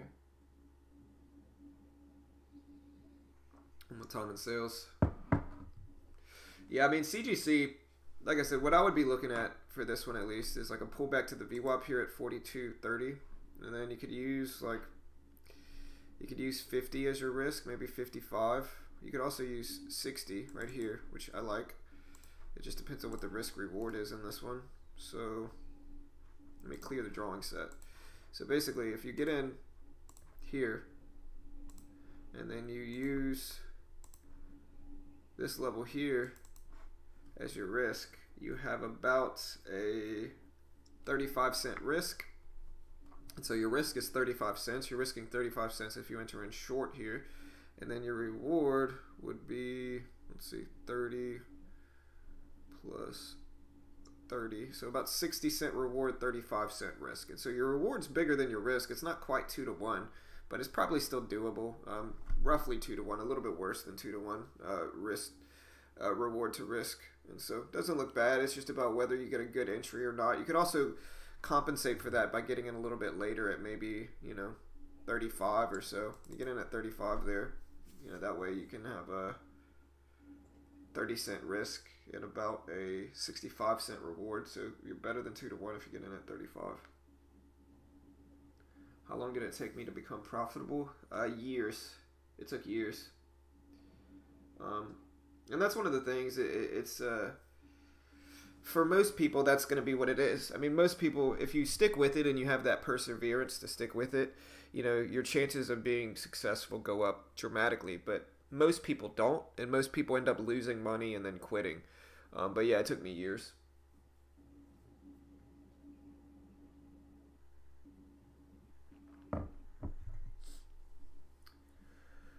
Uh, that would be. I'm just using the VWAP for a VWAP fade entry sid. Um, is what I would be using. I don't know. Pro- honestly, to be honest, I'm probably not going to take it. But I'm just kind of walking you through what I would do if I was going to take it. I would probably use 4230, 4235 as my entry, and then set that 4260 level as my risk, and then use 4170 as my reward target. So it's it's about two to one uh, reward to risk in that one, and it's not terrible. Um, but again, I, I'm probably not going to take it.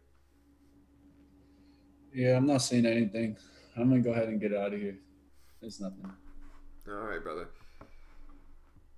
I'll probably end up closing it down sometime soon here. Yeah, you guys take care.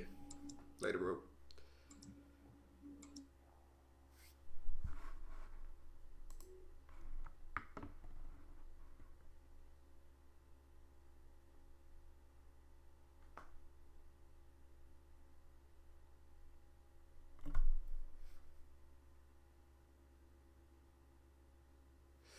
Yeah, I mean, come to the dark side, Sid. I mean, listen, man, I used to only go long. I used to be a sole long bias trader where I only went long. I never shorted stocks. Uh, once I got TradeNet, uh, once I got a TradeNet account I was actually able to short, shorting just pulled me in, and it just seemed much more logical. Like I think, I think when weakness starts to show on a chart, it drops much faster uh, than a long setup, at least in my opinion. I think panic is a stronger emotion than hope is. And so with that, shorts are going to follow through a little bit better. But again, I'm biased for sure. I've just I've done a lot better with shorting. You know, I've, I've been able to read it a lot better and understand when rejections are going to happen. And so shorting has definitely been the most beneficial trading method for me. Um, again, I'm not saying longs don't work, obviously, but short term, I like shorting for sure.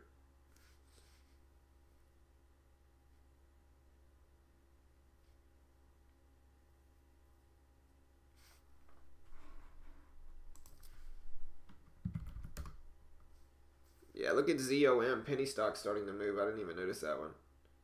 Yeah, HTZ still running up, up to 1713.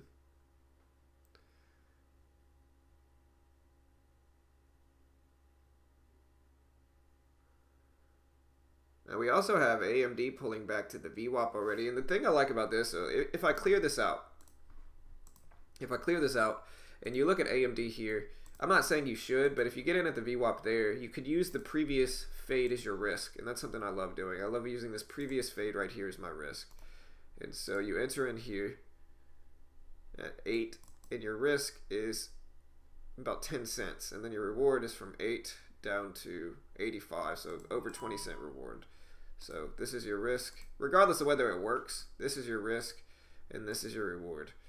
And so your reward's just much bigger here, uh, and that's kind of the way I like to approach these subsequent fades. And even if they're not super accurate, I mean, this one might squeeze up and stop people out and, and you know fail trap shorts, but you know just the way they trade, uh, it's good risk reward. So even if you're right less than half the time, you'll still be profitable for the most part, depending on um, if you stick with it.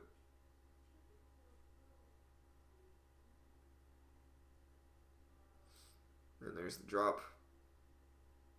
Still sticking in that range.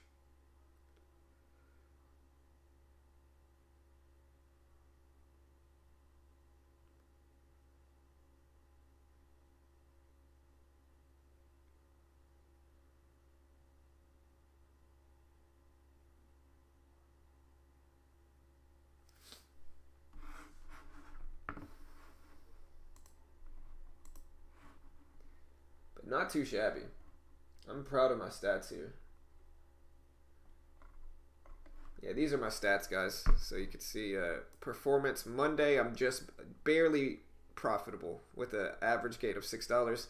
Tuesday, nicely three hundred eighty-six dollars in gains on Tuesday. Wednesday, barely. Thursday, eighty-five. Friday, big gains on Friday, and that's usually from one trade. Um, Watch, you can see the stocks. Like if I go to instrument here, it'll show you the stocks I do the best with.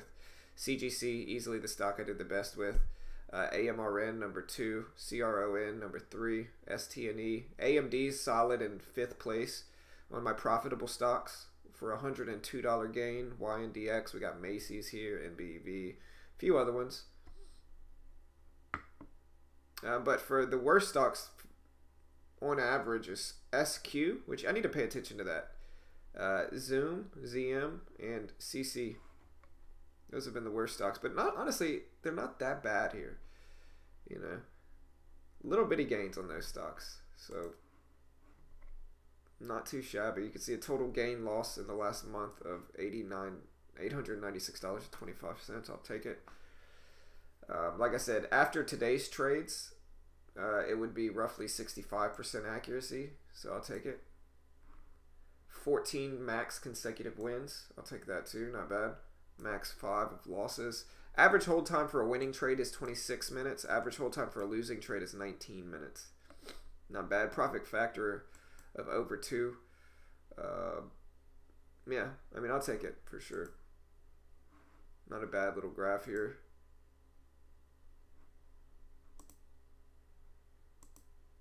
Kind of shows you the battle I faced prior to that, but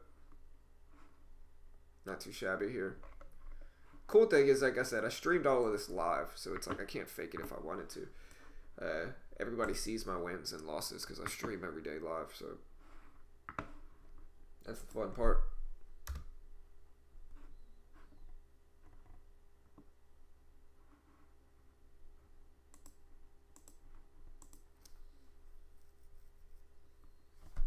You know, and it's funny, like the channel gets all of these haters, right? We have all of these haters on this channel.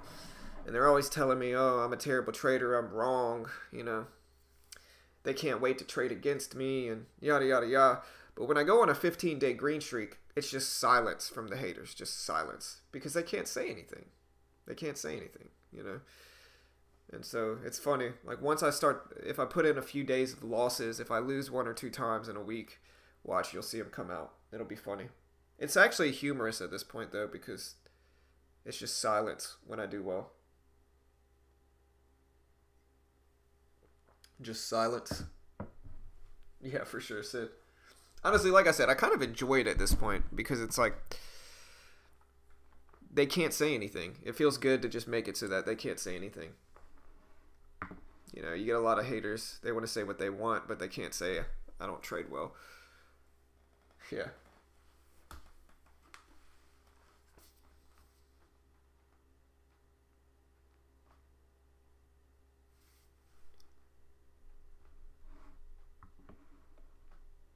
Yeah, for sure. And it's like I said, hey, appreciate that, John. Thanks, brother. Appreciate it, man. Honestly, like I said, I'm excited. The reason I'm excited, and this is a huge reason, is that in the trading world, here's the thing in the trading world, there is a lot of debate on whether day trading can actually be a profitable endeavor. You know, there's a lot of debate on whether you can actually ever be successful as a day trader and whether it is statistically possible to be a successful day trader. You know, some people think that all the educators out there are fake and that they're just pretending. And so there's a lot of debate out there on whether it's actually possible to be a successful day trader on average. And uh, one thing that I'm especially proud of is that I'm really one of the only people in the trading world that live streams their day trading every single day. You know, I don't think there's really anywhere else in the day trading world, specifically day trading world, that actually live streams all of their trades every day and actually shows their account balance, shows their stats, and like shows their entire profit and loss every single day. I don't think there's anybody else that really does that. Um, and I think that most of them do it for a reason that they're somewhat hiding from it. And so it feels really good to be kind of one of the, you know, small percentage that actually is fully transparent and the fact that I can go on a 15 day green streak while showing everybody everything and streaming it all live, that's something I'm super proud of. Because again, I think there I think I'm definitely in the huge minority of people who are actually showing people everything. And so it, it feels good to actually do it and say, yeah, you know, technical analysis does work. Um, technical analysis does work, and uh, you know, I mean, we're not going to start. Uh, we're not going to start naming people. We're not, we're not going to start naming competitors here, but uh,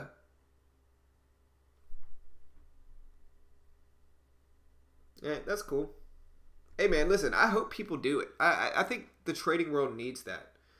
Um, I think the trading world honestly needs that because again, what you get a lot of times, what you get a lot of times with with uh, with YouTubers and gurus out there is that they'll they'll say they made all of this money, but again, they're not streaming it live, and most of the time they're hiding their account balance as well. And again, I mean, they're doing that for a reason. You know, they're not showing you their account balance. It's not because they're worried about something else. They're doing that because they don't want you to see what their account is actually at. You know, they could have three losses in a day and then upload the one winning trade they had, like, look how much money I made. When really they could have lost a few thousand, but they're just pretending. You know, and that's what the YouTube world is filled with. And a lot of times the haters I get are haters that come at me because they are like super dedicated to one of these people out there faking their gains and like I call people out on it. And so they they get mad at me for it when really they should look at them like what like why why would they hide everything if they're being transparent, you know?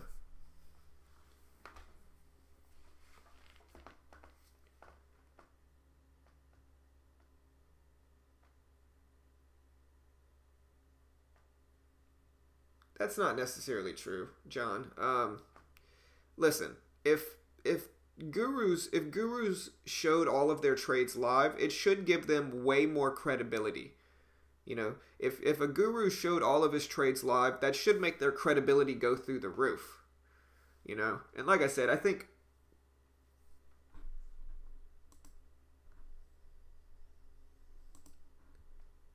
All right. Listen, bro. Like I said, I told you once, we're not gonna we're not gonna keep posting people's uh, handles, and so sorry, bro, but you're banned. Um, I warned you once, man. I tried to give you a shot, but uh, but no. What I'm saying though is that people's credibility there's a there's a huge reason like you'll see people that post every day green you know they're posting their results every single day green they're saying look how much money i made they're never actually posting a losing day you know the people that don't stream you know what you'll see a lot is they're posting their videos every day. They're like look how much money i made you know quick hundred dollar gain. They're hiding their account balance and they're essentially just showing you you know they're the recording of that one certain trade. You don't see what their actual account balance or p&l on the day is. You just see their p&l in that one trade. Then you know whenever they try to live stream they don't actually if they do live stream they uh they only do it once every blue moon but when they live stream they start taking big losses you know and then they stop live streaming and they go back to regular uploads and then all of a sudden they're going back to crazy green streaks and every day's green, never having a losing day. And it's just obvious at a certain point. And I get it. You know, they don't want to scare their followers off if they're honest with their followers. They don't want to scare them off and say, hey, look, you know, I'm actually not as good of a trader as I'm pretending to be. You know, uh, I do lose, yada, yada, yada. But they don't want to do that because that's going to hurt their brand. And so instead, they just kind of fake their gains. And that's okay. I understand it, you know. But I think the trading world needs realness. Trading traders need to see what it's really like. You know, they don't need to see a, a highlight reel of what trading is like. Traders need to see what it's really like. And so that's the problem is that, you know, traders need to see what it's actually like. And in that, you know, it's just tough, man. It's tough. Uh, I get it. You know, as a YouTuber, you want to build your brand up, and sometimes live streaming every day is going to hurt your brand. But that's what traders need to see. They need to see how real it is.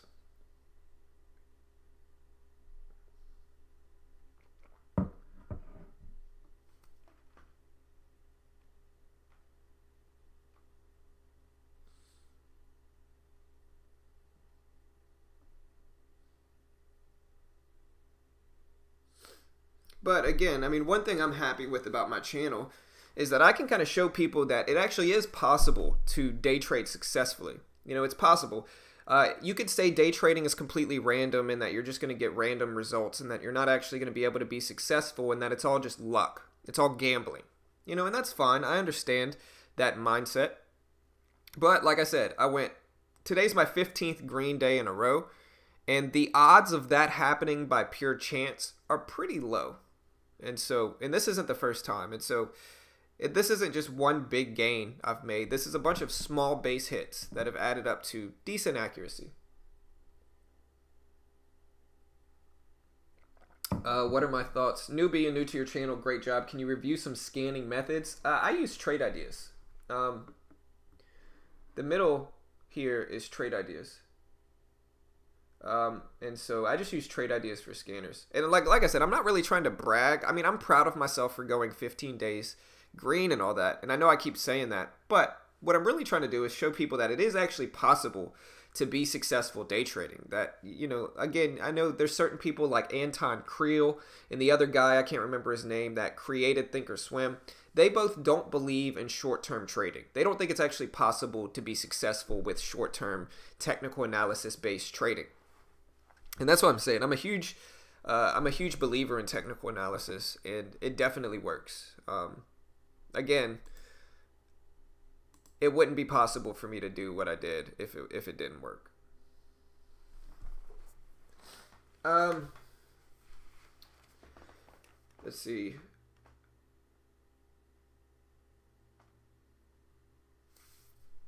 Let's see, what is it? Let's see. New to your channel, great job. Or what are your thoughts on warrior trading? Honestly, I know people hate on warrior trading, but I think the stuff warrior trading teaches is legitimate stuff.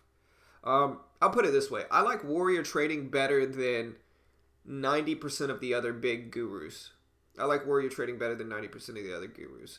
Uh, we have a completely different style.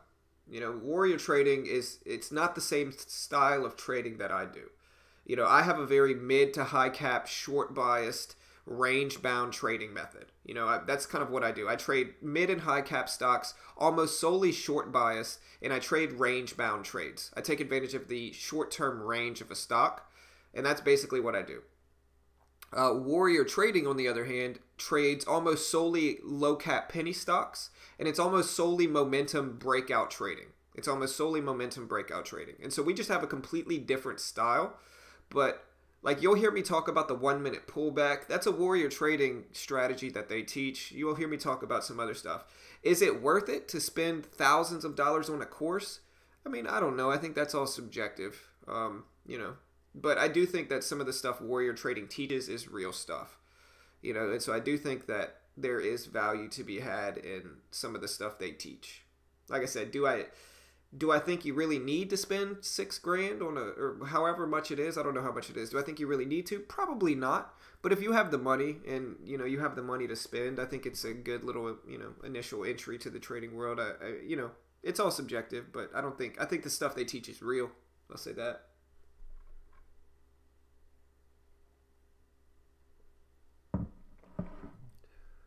Right. I mean, like like I said, I can't say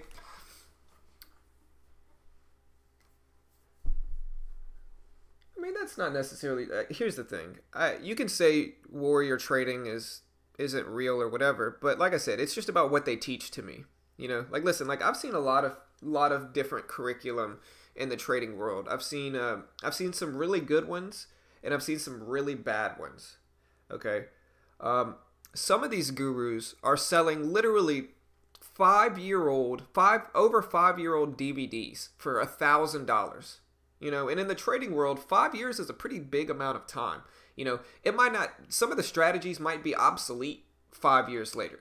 And so some of these gurus are selling thousand dollar dvds that are over five years old and they're just ripping people off. And i've described it you know and at least i know warrior trading isn't doing that. You know warrior trading the stuff they teach is legit in my opinion. But like I said, there's some of them that some of the gurus are selling thousand dollar DVDs, and they're f- over five years old, and they're just they're just nonsense. They're just straight up nonsense, and I, it's it's kind of funny. Like you'll have the followers of some of these gurus, and you'll have some of the followers here. And it, I, the best way I can describe it is like a pyramid scheme. You ever you ever tried to talk somebody out of a multi-level marketing period scheme? And they will defend it with their life. They'll defend its honor. They'll never admit it's a pyramid scheme. They'll always act like it's a great business opportunity and they'll just defend it, defend it, defend it. Even if you even if they know you're not going to buy it. And you're like, "Hey, look, this is a pyramid scheme. It's obvious." And they'll just defend it with their life. And the reason they do that is because it hurts too much. They've spent so much money on this that it hurts too much to say, "You know what? I got ripped off." You know what? I got ripped off. These people you know tricked me into buying it. It wasn't worth it. But you'll they'll never admit to that. And like I said, it hurts too much to be able to be introspective enough to tell that truth. And that's what you get a lot of times in the trading world as well. You get people that spend four or five thousand dollars on these courses. They've invested so much money into these courses that they will never look at it objectively and say, you know what, this was not worth it they kind of lie to themselves and say, you know what, it was worth it. I learned so much. And anytime anybody questions it, they'll say, you know what, I learned so much doing that. And like I said, it's kind of like a pyramid scheme, you know. And I'm not saying I'm not saying the courses themselves are pyramid schemes. I'm saying that trying to talk somebody out, trying to talk one of their students out of doing it and spending that ridiculous amount of money on it is moot. There's no point. You know, they're going to defend it no matter what. Like I said, probably because they've spent so much money on it.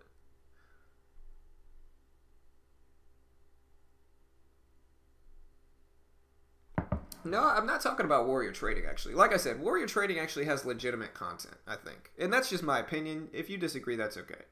But I like Warrior Trading stuff. I think I think the stuff they teach is real. You just got to make sure that's the style of trading you want.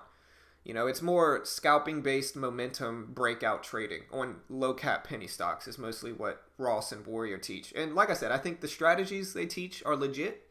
And I think uh, the classes they teach are legit. You know, but everybody's different, and you do your own research.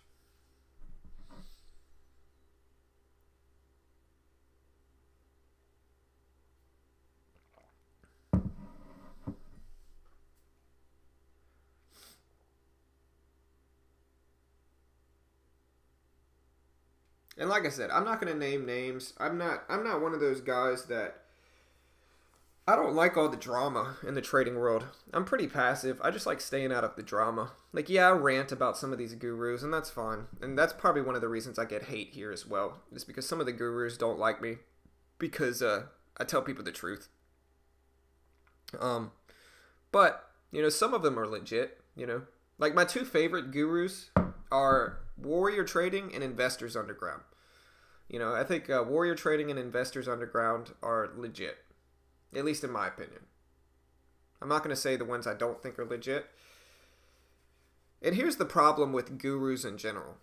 Right? Here's the problem with them is that they trade they're in the trading world for so long. You know, some of them have been trading for years and years and years. Right? But again, you know, 10 years from now, the strategies I'm using in the market will probably be obsolete. And so if I'm still teaching the same stuff in 10 years that I'm teaching now, that information is going to be obsolete to a certain extent. And I can't keep selling that information. I have to continue building an edge in the market and continue learning. And some of the worst gurus, like I said, are selling really outdated stuff, really outdated strategies, really outdated courses, really outdated DVDs. Because they might have been good traders 10 or 15 years ago, but the market has changed. And some of that stuff is obsolete. And so that's the worst deals in the trading world is again, gurus that have been doing it for a long time that are still teaching the same stuff they did 10 or 15 years ago.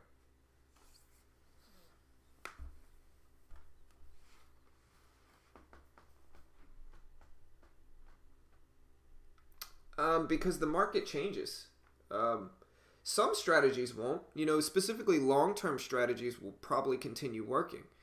But there's just certain ways the market changes drastically in 10 years. You know, market changes drastically in 10 years. Strategies change year after year, you know.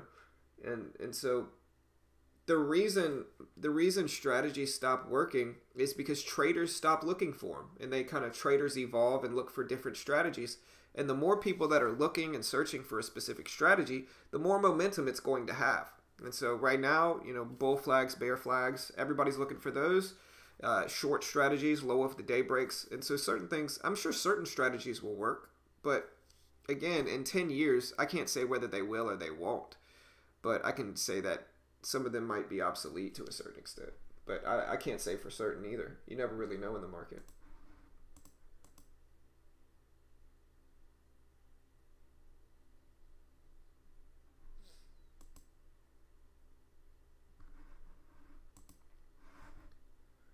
But yeah, that is it for me today, guys. Hey, appreciate all the support today. Um, you know, we got a lot of people out here showing your love, showing love. So appreciate all the support, guys.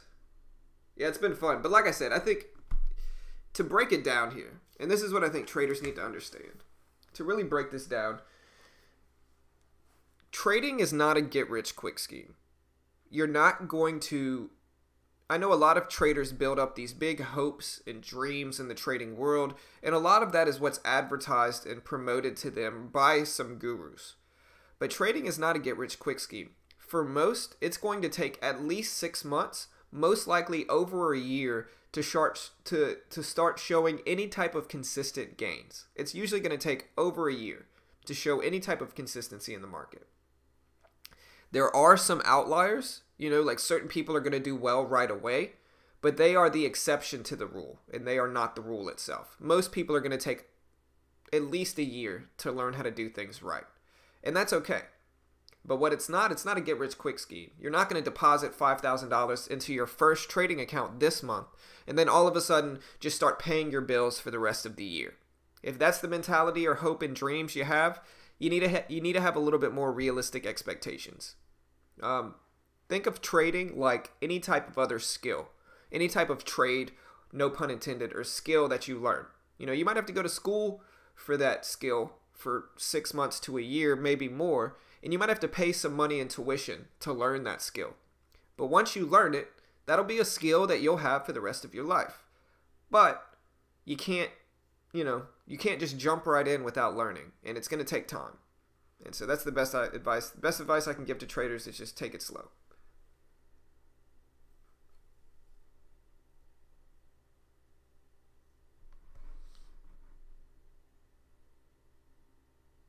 I mean, for me, it took about two and a half, and it took it took years. You know, it did take years. It took about two and a half years for me. I started trading in 2016. It is 2019, and so yeah, it took years. But it is possible. Um, and like I said, you can see my graph here. Happy with my graph for sure this month.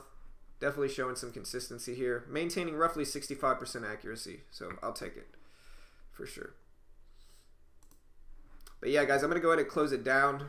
Sorry for my rants. Uh, like I said, one of the ways we keep this stream always free, go check out TradeNet for $3.99 in their in intro package. You can get 14,000 in buying power to trade with. So you can actually trade with 14,000 in buying power. There's also no PDT rule, so you can day trade as much as you want. Commissions are pretty cheap if you use small sizing. Like one of the ways I can take one or 200 shares of AMD is because my commissions for that trade is like $4 total for, you know, a round trip. And so ridiculously cheap commissions if you use small sizing as well. And if you want to check that out, I think there's some huge benefits to it. I think most new traders will deposit, you know, one or two thousand dollars into a conventional broker and end up losing that. And so they're down thousands. Where you could go the TradeNet route, only pay three ninety nine, and get decent buying power. You can actually short with TradeNet. You actually have a shorting ability, and you can also get around the PDT rule. And if you lose your TradeNet account, which I think most traders probably will, then you're only down four hundred dollars. And if you go the conventional route, you're down thousands most of the time. And so I think it makes a lot of sense. There's a link if you want to go check that out. Uh, if you want to see a complete walkthrough of them where I break down their pros and cons, I can post that video here as well. And I really do break down their pros and cons. So here's that link if you want to check that out. One of the ways we keep the stream free. And then also, they do have a challenge here. So they have what's called the TradeNet Demo Challenge, and it's completely free to enter. At the very least, you get a $10,000 demo account to trade with for a week.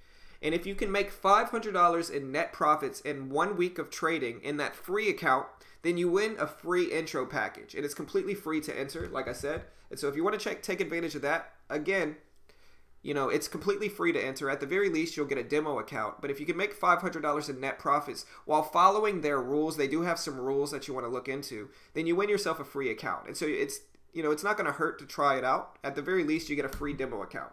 And there's that link as well. Um, what else? Let's see. Oh, also go check out Trade Ideas. I had somebody ask me about my scanners.